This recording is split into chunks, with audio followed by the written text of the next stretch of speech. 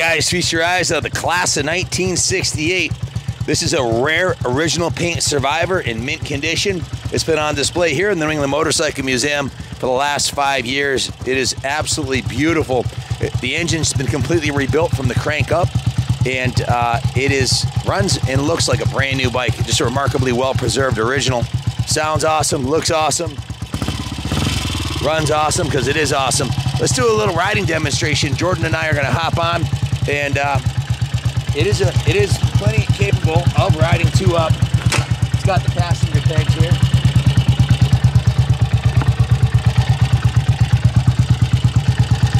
Take it for a little ride. Only 4,150 miles on the original speedometer. Engine's got maybe 50 miles on the complete rebuild.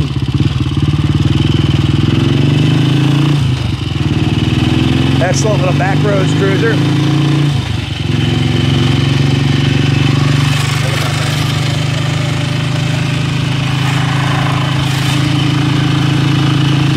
Four-speed transmission. I weigh I weigh about 230 with the gear on. Jordan's probably 125, so it hauls us around no problem. Cool trike.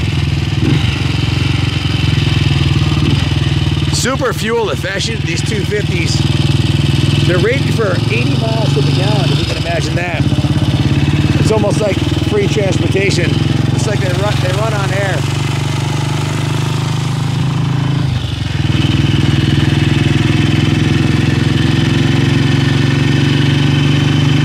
It's remarkable this has the original factory paint 56 years ago when it rolled out of the factory.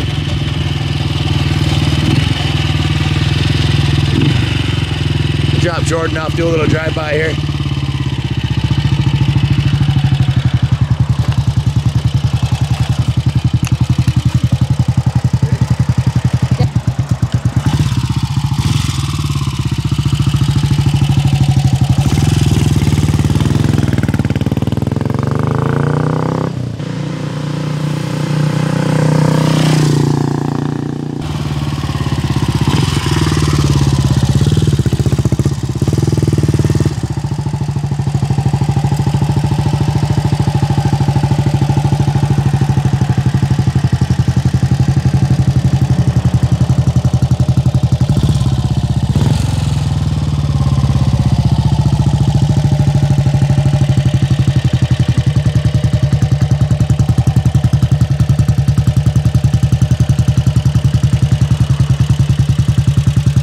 It's a lightweight, fun, relaxing ride.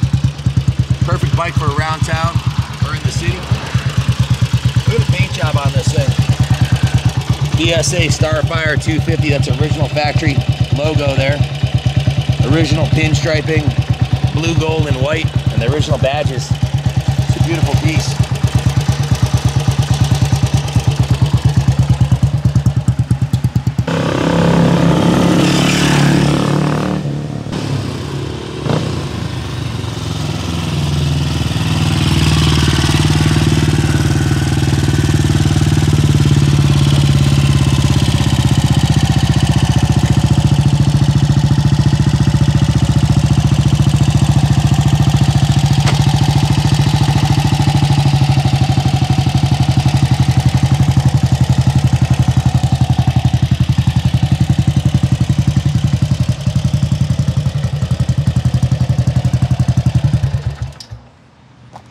Bike looks like new, runs like new, but it's not. It's an original 68, just remarkable. Uh, the cosmetics are all original. The engine has been carefully rebuilt.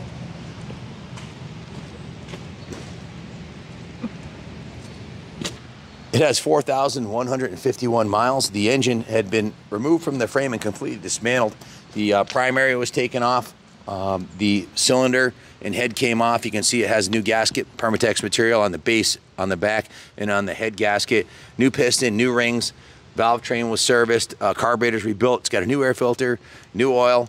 Uh, clutch was rebuilt. Everything was done on it, and um, it is absolutely beautiful. The engine cases were polished, super clean oil tight, runs like brand new. It's about as good as it was brand new. It really uh, be hard to improve on this. And I love the original paint classics. To find any 56 year old bike with original paint, especially a 250, is uh, few and far between because these were usually ridden heavily by youngsters and um, put a lot of miles on them and, and uh, you know worn into the ground. This is one that that stood the odds of time and, and just it's a survivor that's been carefully and meticulously serviced and, and, and detailed and maintained for many years. So if you're looking for a kick-ass BSA to add to your collection, your ship just came in. You see, these are the original 56-year-old. You can see the patina on them. They're a little bit cracking if you can zoom in.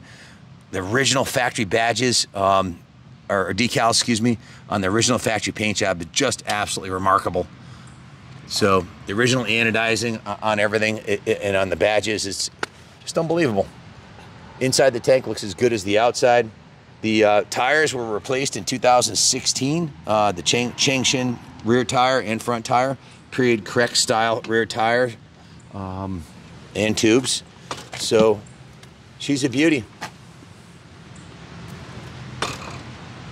Guys, original matching numbers B25, B3410, S on the engine. Can you read the frame number off the VIN frame number? Yep, so it says it says B25, I mean R25B3410S. Original matching numbers, BSA Starfire 250 in their original paint livery. Good luck finding a nicer one. Most of these, like I said, were, were ridden into the ground. This one's uh, like a time capsule. If you have any questions about it, give us a call, 860-454-7021. Jordan, did you read the VIN number right uh, on the frame? Uh, yeah, I accidentally read it wrong. I don't have my glasses on, so go ahead. It is a B. B. It's yeah, I read it as an R, but it is a B. It's a B. Okay, so it's a B25B 3410. Yes. So it's a perfect matching numbers. Okay. Hey, you can't blame me. He couldn't even read it at all. Right, that's okay. I don't even remember our phone number. We've been out here in the, in the in the heat all day long, and I don't think you've had lunch, so nope. we had a little blood sugar going on here. But um, very cool, classic BSA that uh, was on home at very at home here in the New England Motorcycle Museum. Uh, it needs to find a new home. Dave decided to sell it, one of our benefactors, and it's up for sale. So good luck bidding on it. God bless America and long live the Queen.